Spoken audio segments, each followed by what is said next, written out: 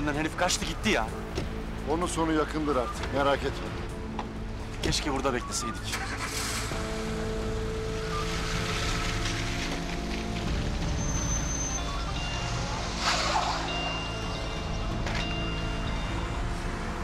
Efendim Fatma Gül.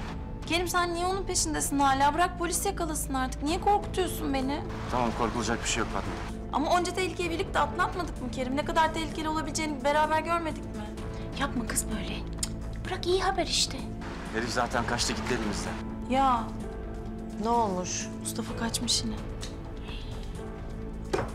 Yok canım biz hiç rahata falan eremeyeceğiz ha. Kerim ne olur dön eve gel. Tamam, tamam merak etme. Tüm çıkışlar kapatıldı. Tamam.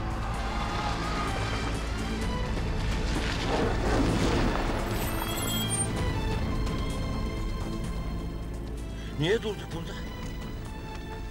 Bana baksana sen. Araban nerede çabuk söyle. Süle Süleymaniye'de. Otoparkta bir yerde. Hangi otoparkta?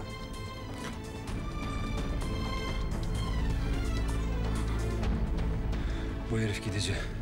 Ölür kalır fazla yaşamaz bu. Bana yardım et ne olur. Arabayı almaya giderken hastanenin kapısına atarız. Yazıktır. Çıkışlara takviye gönderiliyor. Tamam. Beni hiç enterese etmez. Benim işim sadece arabalarla. Peşimde bir dünya polisin adımı arabamda daha fazla taşımam ben. Bir de ölür kalırsa al sana belanın katmerlisi.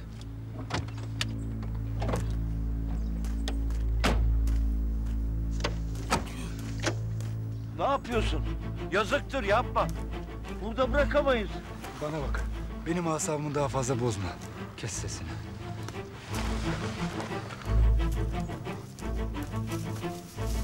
Ölür kalır burada bırakırsak. Bana ne olan? Peşine bunca polis takakan bana mı sormuş?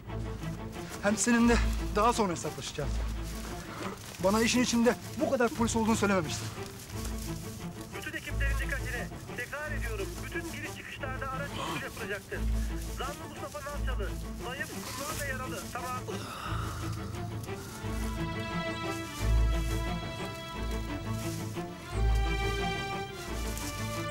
Her yerde aranıyor. Duymuyor musun? Bu kadarını bilmiyordum yeminle. Olay senin anlattığın kadar basit değil. Anlaşıldı. Gitmeyin. Burada mı bırakacağız? Ben böyle bir bombayla yola devam edemem. Sen istersen onunla kal. İstersen gel benimle.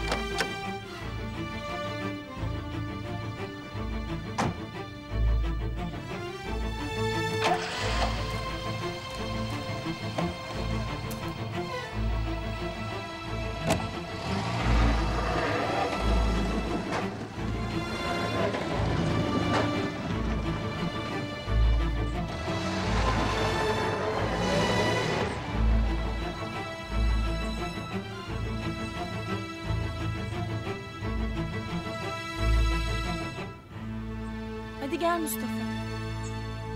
Fatma Gül.